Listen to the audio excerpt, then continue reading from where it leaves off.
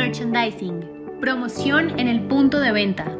Existen numerosas acepciones de lo que significa el término promoción de ventas, lo que ha generado confusión en lo que respecta a su delimitación, así como falta de consenso en cuanto a una definición del concepto. En cierto modo, la confusión acerca del alcance de las promociones de ventas proviene de la utilización del término promoción en lugar de ventas, entendiéndolo como local comercial, para denominar al conjunto de técnicas de comunicación persuasivas entre las que se encuentra la promoción de ventas.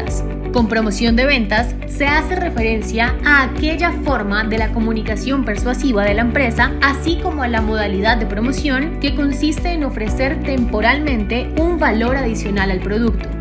Sin embargo, no siempre que se utiliza la palabra promoción se hace en sentido genérico.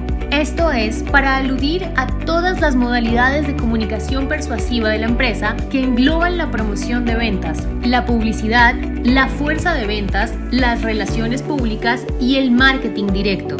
Esta utilización ambigua del término ha generado confusión respecto al significado del mismo, puesto que esto tiene lugar también en el mundo anglosajón, ya que muchos autores americanos emplean el término sales promotion para describir todas las formas de comunicación, incluyendo publicidad y relaciones públicas.